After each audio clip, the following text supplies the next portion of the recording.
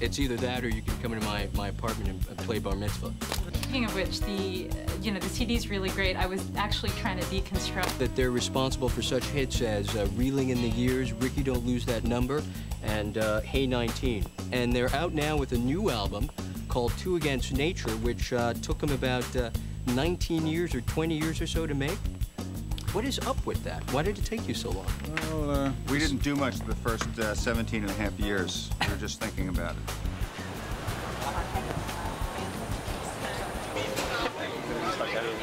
First time I heard Steely Dan, um, grew up in Northern California, driving along the coast with my parents. Just hanging out uh, in their pickup truck, driving through the woods um, in rural Massachusetts, and uh, they popped in a tape.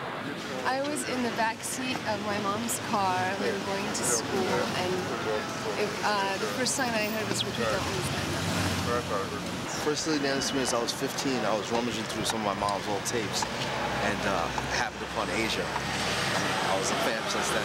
In the bikini by the pool listening to Hey 19 when I was 16. And I didn't get it.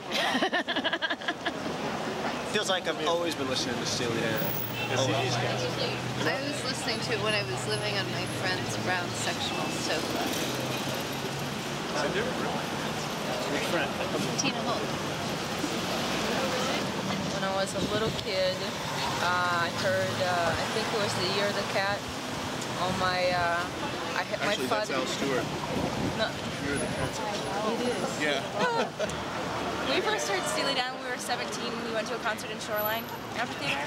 So you hear them live then? Yeah. Yeah. What do you remember? I remember. You tell them. the whole audience is going like this. It was great. Yeah.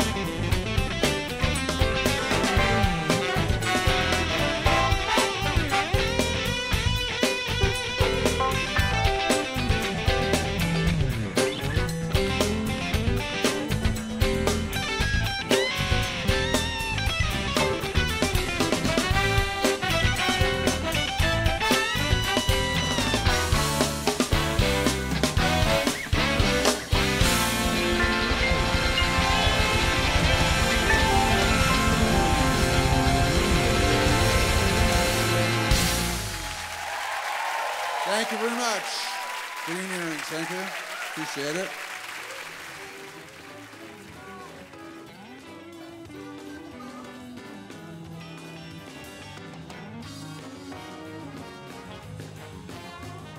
Two Against Nature, is it in any way a departure from your other works, or is there, is there something new that fans of yours might be surprised by? The secret messages are in there, buried in the lyrics. Walter plays most of the guitar solos.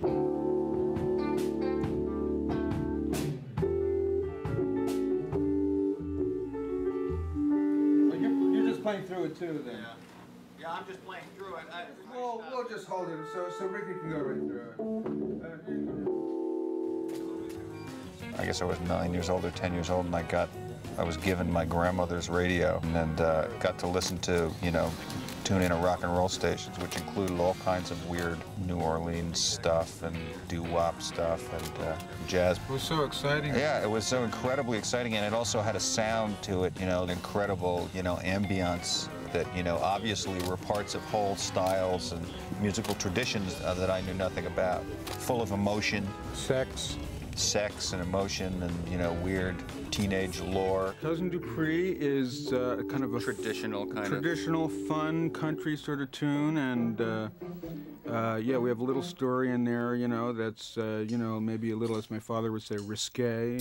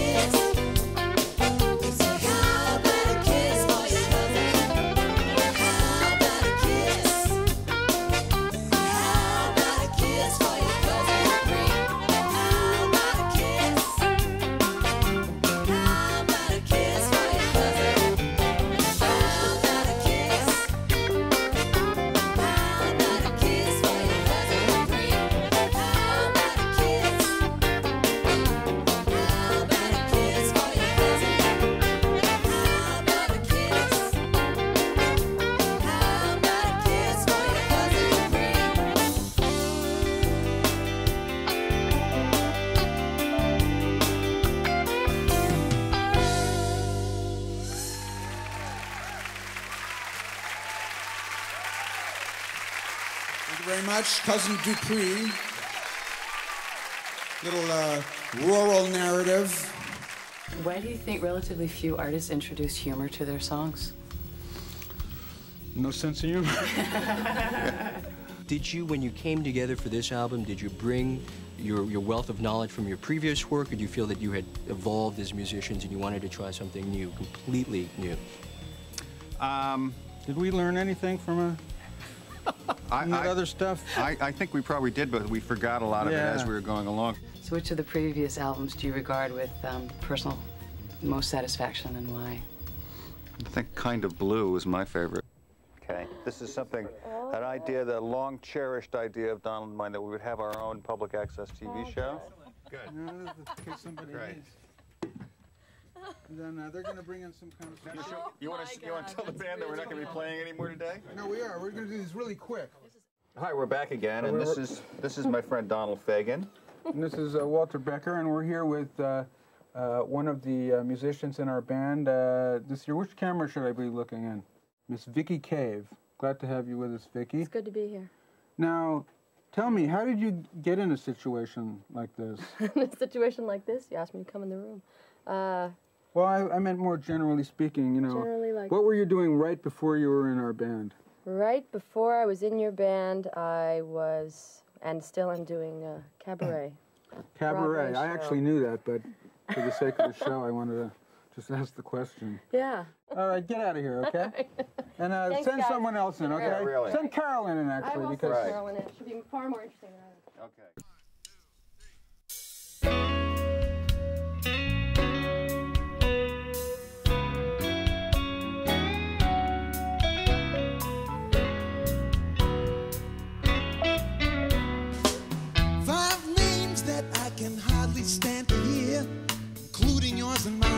chipper isn't here. I can see the ladies talking, how the times are getting hard. And that fierce Comex convention on Magnolia Boulevard.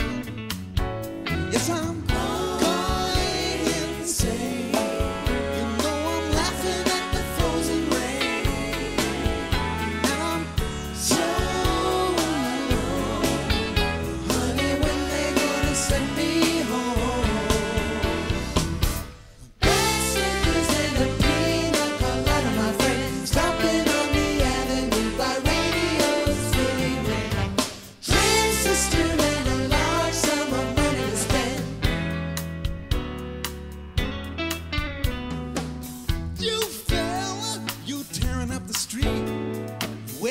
Tuxedo, how you gonna beat the heat? Do you take me for a fool? You think that I don't see? Ditch out in the valley that they're digging just for me.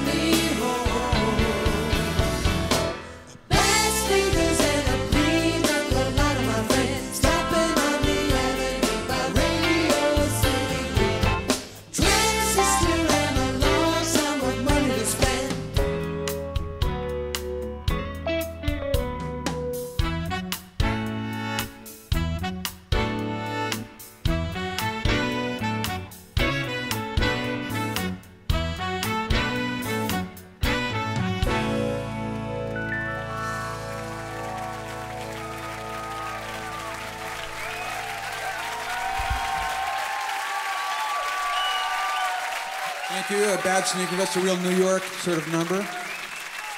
Kind of a local deal. It was one of those things that uh, I guess what we can classify as adult contemporary radio right now and smooth jazz. It's funky, it's jazzy, it's mellow, it's it's got a lot of heart, you know, and it's got a great sense of humor. You could say it's blue-eyed soul. You could say it's jazz. You could say it's rhythm and blues. It's a, it's just a lot of things. You know? It's really the, the, the Fagen, Fagen riffs and uh, old Michael McDonald voice. A lot of nice chunky horns, smooth horns. That was good stuff. I guess the voicey falsettos, man. You know. It still rocks. You know what I mean? It still rocks and funks at the same time. But I rank Steely Dan right up there with Madonna and Bach. It's some of my favorite music. And ironically, I just came back from a film festival out in the mountains. I rented a car. Of course, there was no CD player. So I stopped in the gas station, and what do I pick up? Steely Dan's greatest hits. It's just kind of like that chill out music that just gives you the kind of it's kind of that laid back mood. That's it's always been a it's been kind of timeless. It's fun. It's about fun. And uh, just sticks. Did they did they play Woodstock '94? No. No, they didn't.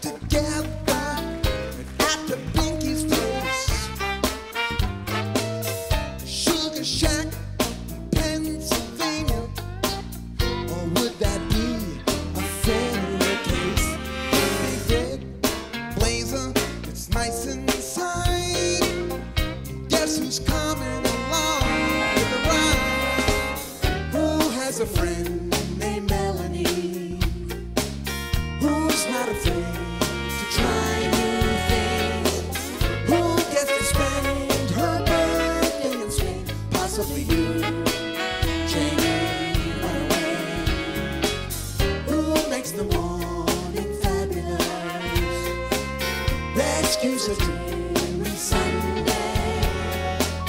Who gets to spend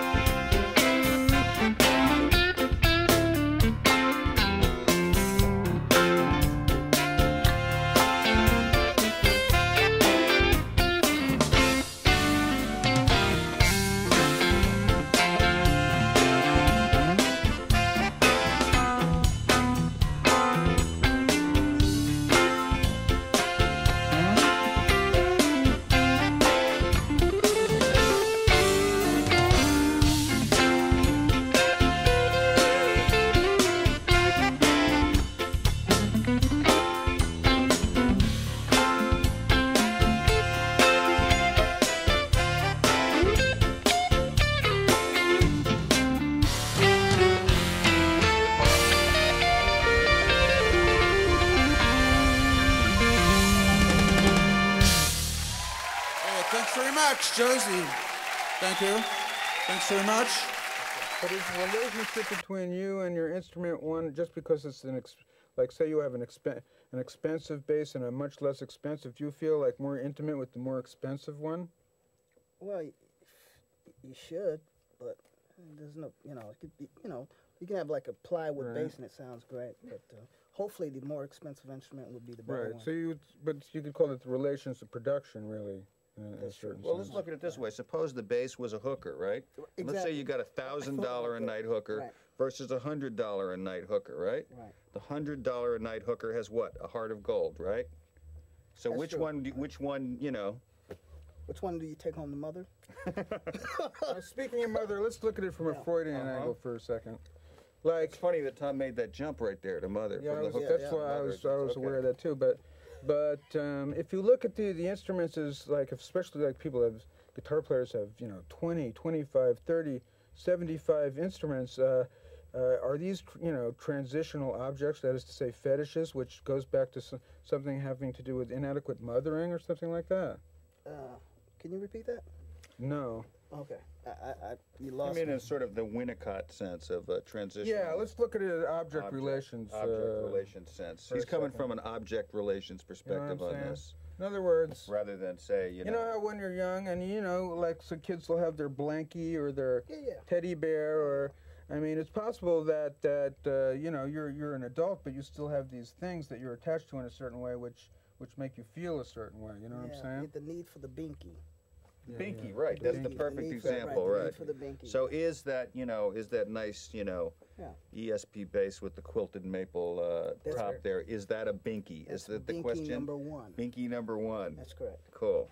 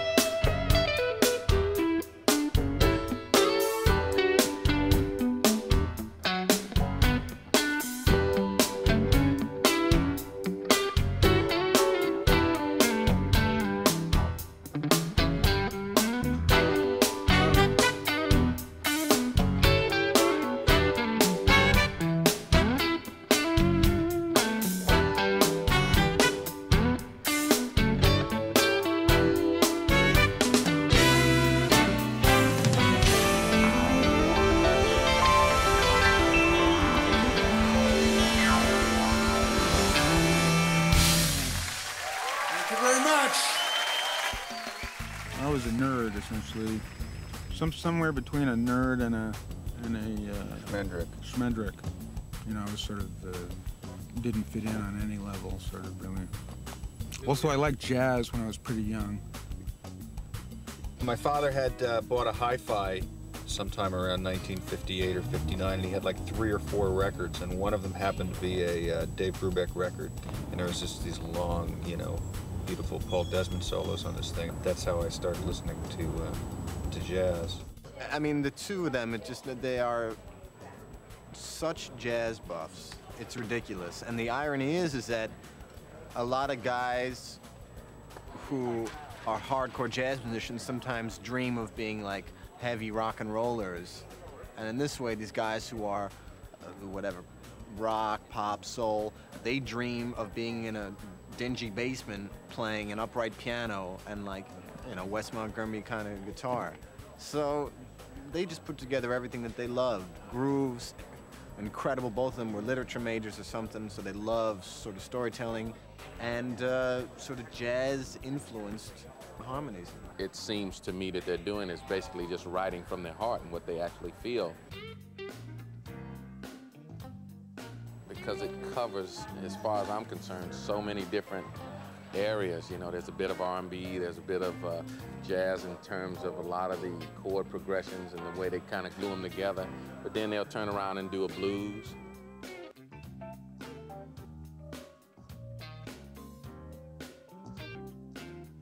They, they have an amazing chemistry, so you can't you can't always expect to take them a certain way, and because because they'll never do what you expect them to do.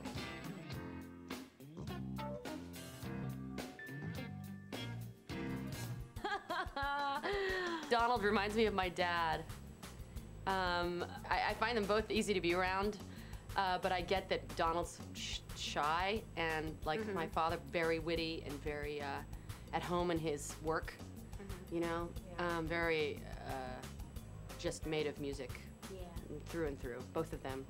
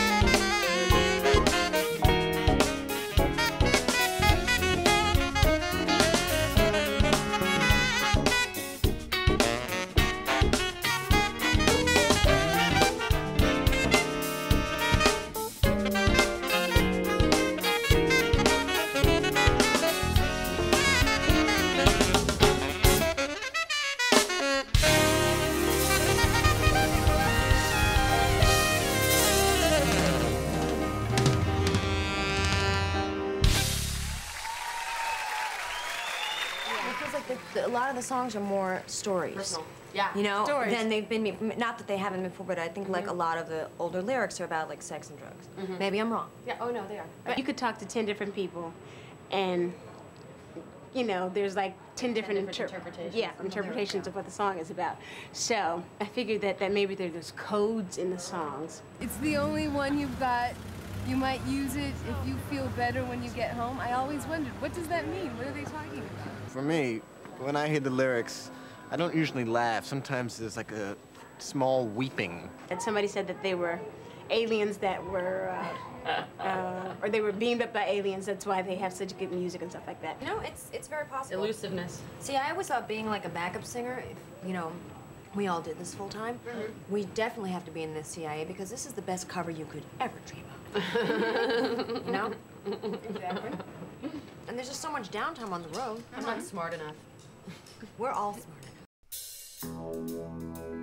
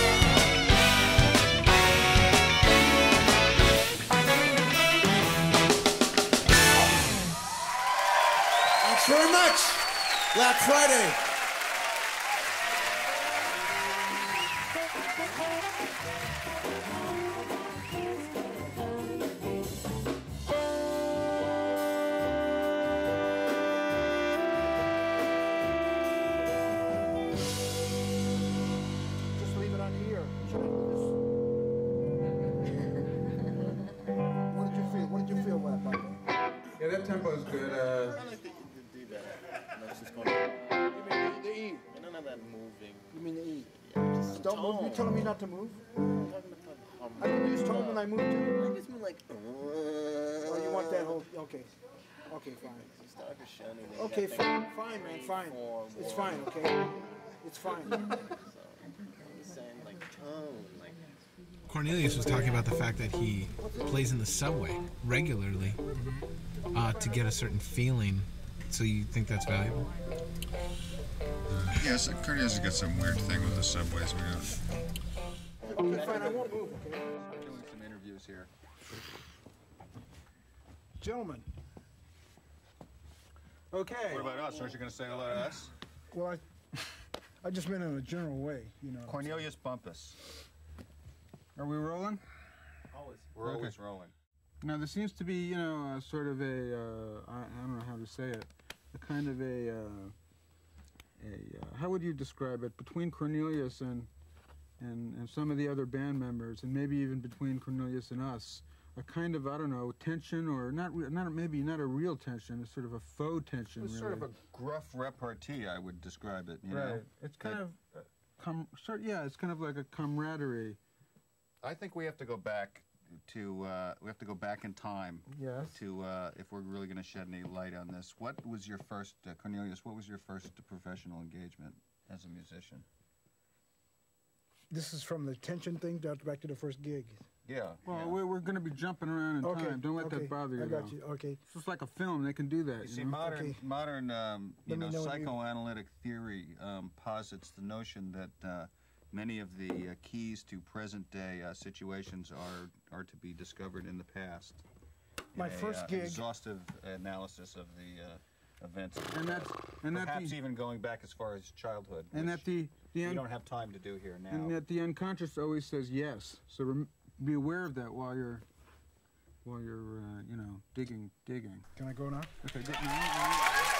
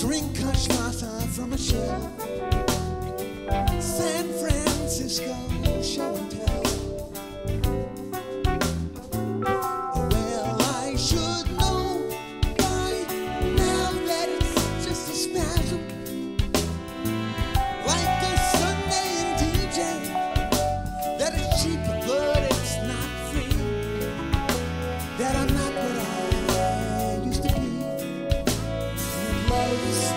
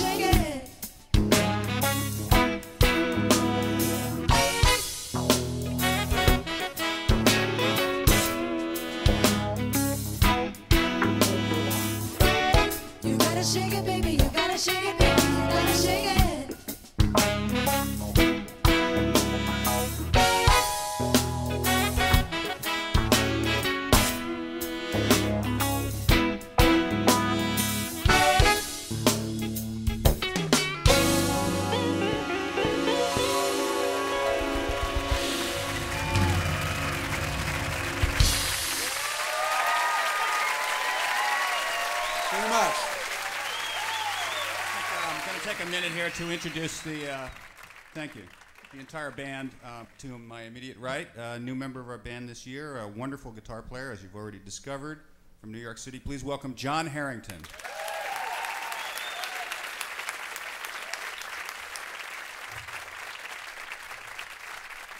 Uh, behind uh, John on the uh, horn riser tonight, a wonderful musician, wonderful guy, and a veteran of many of our bands and many other famous bands of the 70s.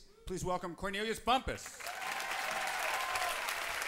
Uh, next to Cornelius, um, a player that solos uh, are featured on uh, our new record, uh, Two Against Nature. Please welcome Chris Potter. Uh, playing the trumpet tonight. Uh, great musician, great trumpet player, great arranger. Please welcome Michael Leonhart. And the trombone, another wonderful player who's uh, all over our uh, new record and uh, going to be touring with us this summer. Please welcome Jim Pugh. Moving over into the uh, rhythm section, uh, our uh, drummer featured on that last number and indeed throughout the evening. Very happy to be playing tonight with Mr. Ricky Lawson.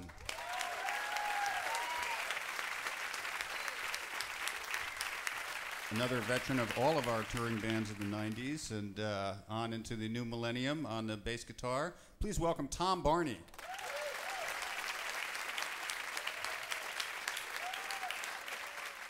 Currently seated at the uh, Fender Rhodes piano, uh, a new member of our touring ensemble and also our recording uh, uh, group. Uh, please welcome Ted Baker. Moving over into the uh, female vocalist section, please welcome Ms. Victoria Cave.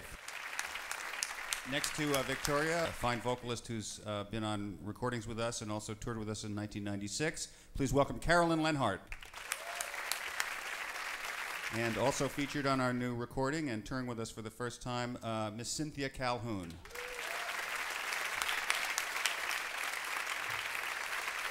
uh, as far as two against nature, I think the whole concept of it. This is my, Oh, my yeah, this is my take on it. for this, No, too. but I think it's just it's all about like different people with with alternative lifestyles. It's like you know, like cousin Dupree is like that's not a norm. That's not every every day, but it's you know, it's just it's not. I'm saying these are not like their experiences, but I'm sure they read and they know and they all all of this stuff and and if they're true stories. You know, like shame is like it's like my life story, but uh, you know, but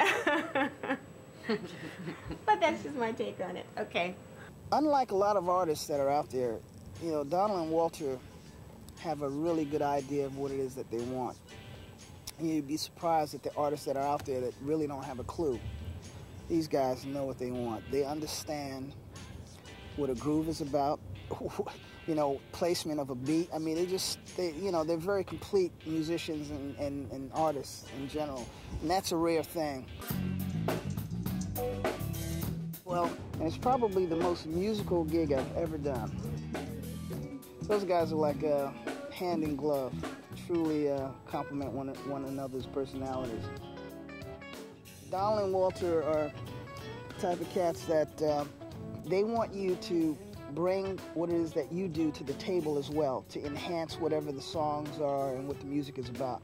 And that, you know, that I really enjoy about them. The way we actually ended up playing it was more, it wasn't really doing the ba da da da, you know, it's more just hanging on the chords, right? Mm, You can try, you know, kind of a break, Ricky, or whatever you want there. You know, just whatever feels good.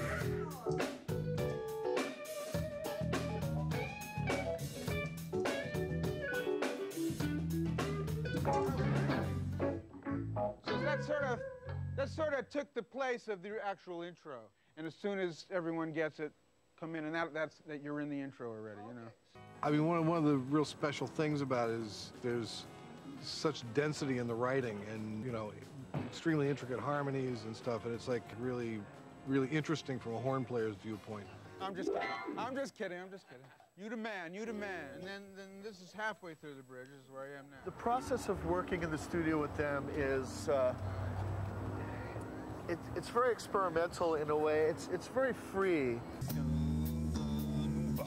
Is it going to a D or a G? G. I have a, I have a G on four. The process was was really relaxed, and I was free to fool around with things if I wanted to, and it was it was fun. It was pure fun. And then an A major nine. See what I'm saying? Not sustaining. I was going using the pattern, you know. And C then you got a C sharp, Sharp nine and then flat nine. Okay.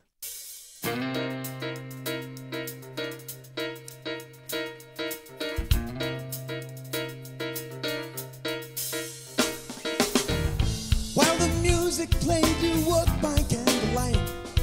Those San Francisco nights, you were the best in town.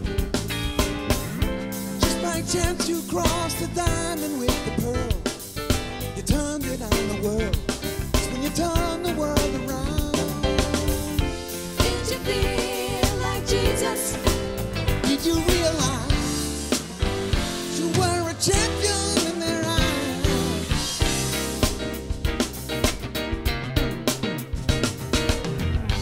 On the hill, the stuff was laced with kerosene, but yours was kitchen clean. To stare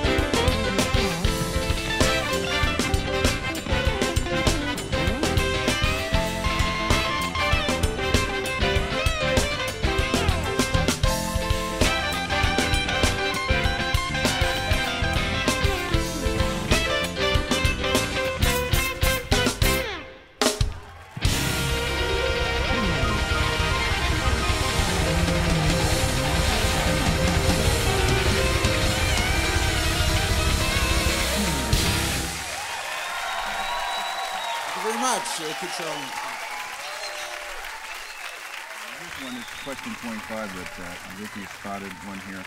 What is the Steely Dan policy about intra-band dating? As opposed to contraband dating. Yeah, or extra band dating. Extra band dating is out. And um, intra Well, didn't we have intra-band a, dating uh, No in. dating any Yeah. extra bands. we had a we had a little memo about that on the website. I Yes, you believe, did. I've uh, seen it. in '96. Um, Yeah, it's under the. I think we called it the new chivalry, and uh, it, wa- it was essentially a, uh, a attempt to uh, reinvigorate the, uh, put some romance back in the uh, in the touring process for us mostly.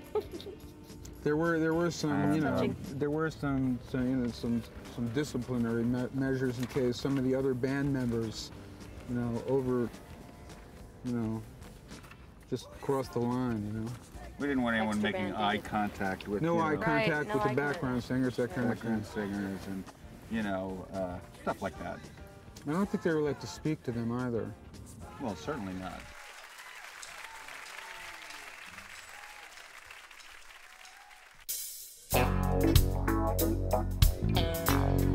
Teddy's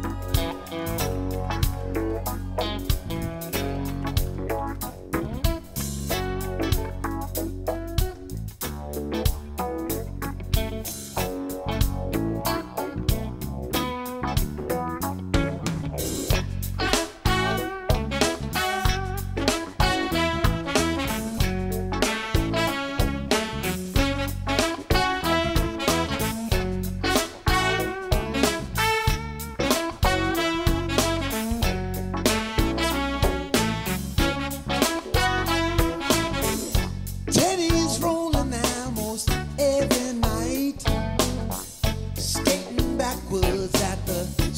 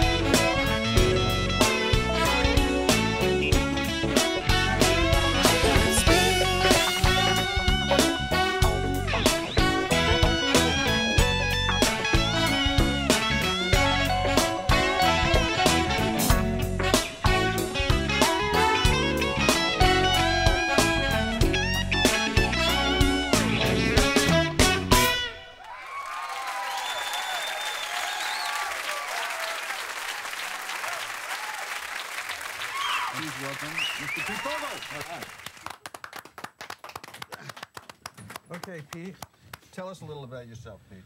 Now, let me just say, Pete. Pete is is not. ex- Uh, we've had musicians in our band so far. Pete is not actually a musician in our band, but he has a very special relationship to to to the band. So, okay, go ahead. Uh, what's my relationship anyway? I never figured that out. Well, that's why we're here. Okay. uh, what would you like to know?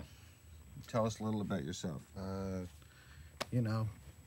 How am I? old are you? I'm 41 years old. Okay, and you're from I'm from Long Island. We're in Long Island? Oceanside. Oceanside. Well, some of Oceanside's nice. Yeah, it's pretty good. And uh, I like riding my bike. I like jogging. Right. I like watching baseball, and I like listening to Steely Dan records.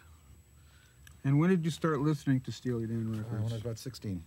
16. So That's, that was that's a little early, isn't it? That that really we don't recommend that anymore. You know. No, and it affects the. Uh, Yeah. Affects you. I know a lot. The, It's like uh, what they used the- to say about Mad Magazine in the 50s. Yeah, you know? the new guidelines really um, call for sort of uh, a completion or near completion of the maturation process. Mm-hmm. And to have at least a high school diploma as well is, it comes in handy too. But I barely got that. So, now Pete was at one time, uh, and uh, you may still be the co-publisher and author of a uh, fanzine. May I call it that? Yes, that's the right name for it. Called Metal Leg, which is um, tell us tell us about Metal Leg. Well, it's a it's a little magazine about 30 to 40 pages, and it basically uh, follows you guys around. That's right, and uh, And it's and got not- articles and Articles, it's got pictures, photos and, uh, all, false rumors. all manner of And- uh, information in there. And not only that, it also has articles about people that we've worked with, or people that we've known, or people that uh, It's like the minute they work with you guys, they're they're in the metal league. They're in the magazine. right were influential at one time or another, um, and that sort of thing. And uh, in many cases, uh, I've I've read uh, articles in Metal Leg magazine and found out I, I, know more about those people than I ever knew before after reading the piece. Yeah. Well, it's probably good for you guys to get to know your players. Now you also have Sometimes another that job. happens to me. You have I do- another job. This is really a moonlighting thing. You have another job, right? Yeah, I'm a uh, music booking agent, Yes. And uh, I owe that to you guys for getting me into music. That's why I'm I'm doing that as a profession, and totally influenced by your music. That's kind of a shit business, though. I think you'd be sort of No, angry at us. no, for that, actually, no. I'm very happy because It's the a tre- good You have to deal treat- with a lot of sleeves. No, I don't book uh, that many national acts. I'm okay. Just local bands. Now, when you when let's say you let's say you you book a band for your club, right? Mhm. And you've you've booked five guys or something, and they show up and there's only four guys, or there's five guys but not one of the guys that you thought you were booking, Right. or there's some other sort of discrepancy, uh, um, some sort of uh, uh, irregularity that uh, you weren't expecting in the uh, gig, and which can be traced back directly to the musicians. Mhm. Is that when? I mean, how do you how do you handle a I just situation take like I that? I just take the money out of their pocket and put it in mine. Yeah, I see. so you, you you get back at them through Right, the pocketbook, right, it's my, sort of. You're right, exactly. Uh-huh. Their loss is my gain. I say. Now, what's this thing down at? at did you still have that thing going at Le Bar Bat?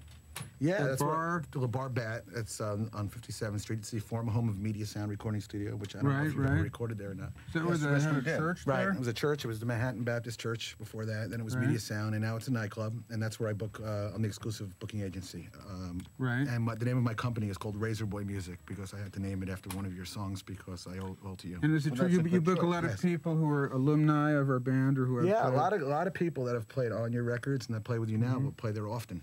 Hmm And the minute they, you know, I mean, we have a great time there. It's a great club.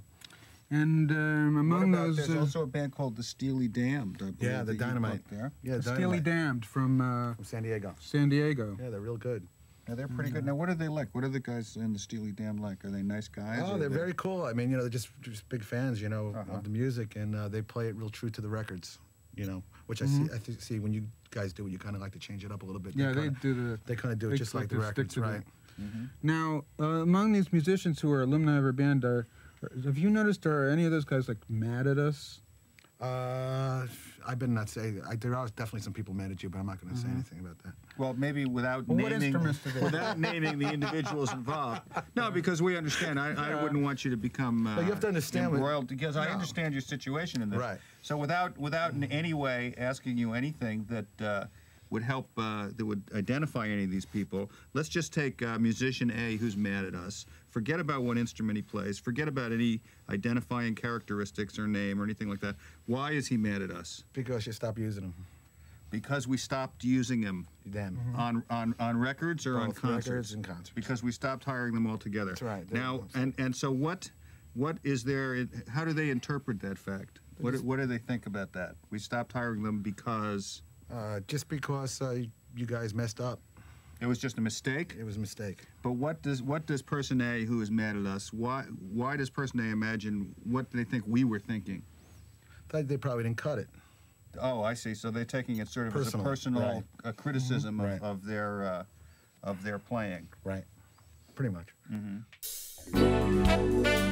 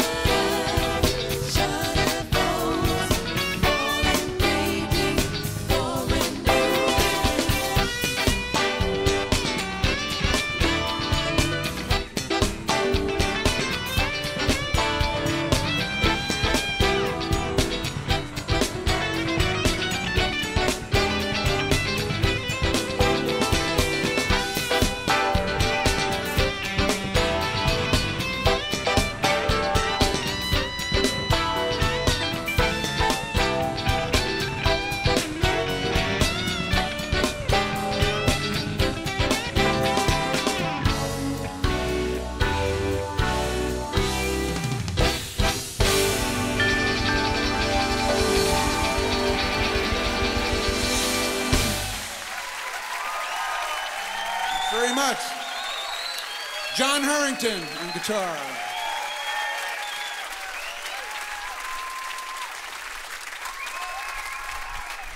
All right, now, and person B who's mad at us, right. another musician, completely different musician right. who's mad at us, right. is angry at us because. Because you don't know what you want.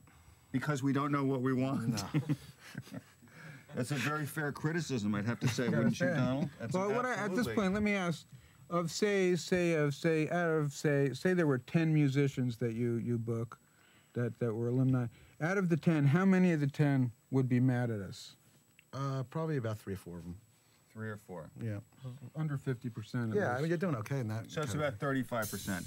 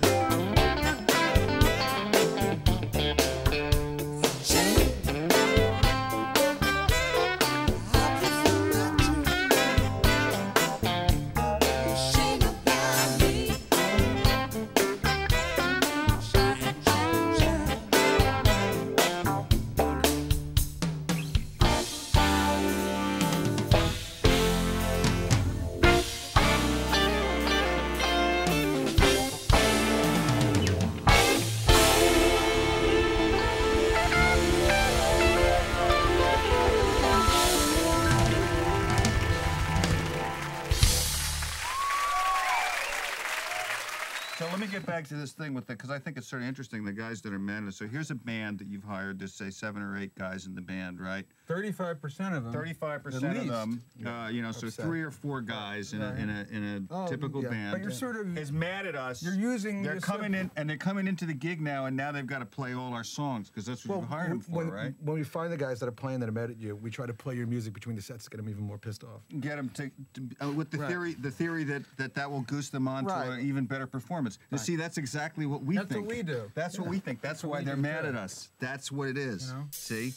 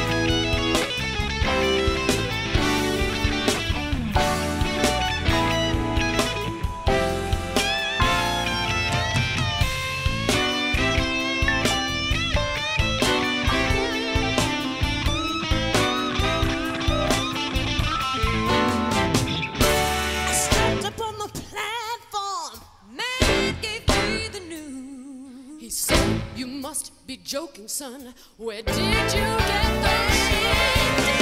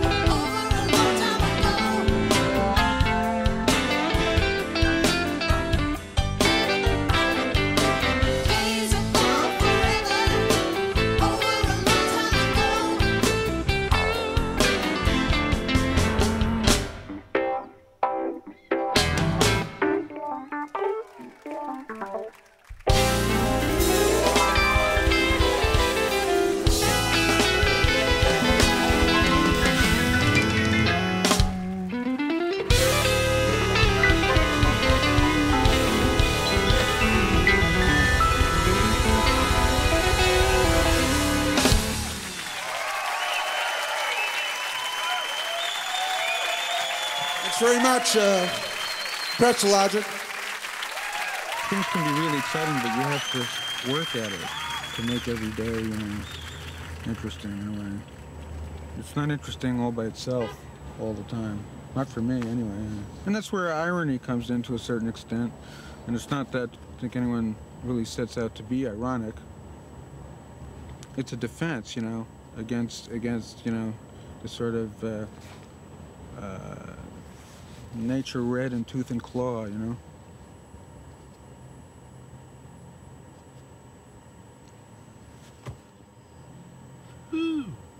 Is there anything to drink in this car? Here, Yeah, really. Yeah, especially after that sentence. Yeah. Any sentence that ends with the word claw and then a quotation mark. Is there water or something? Yep, there is.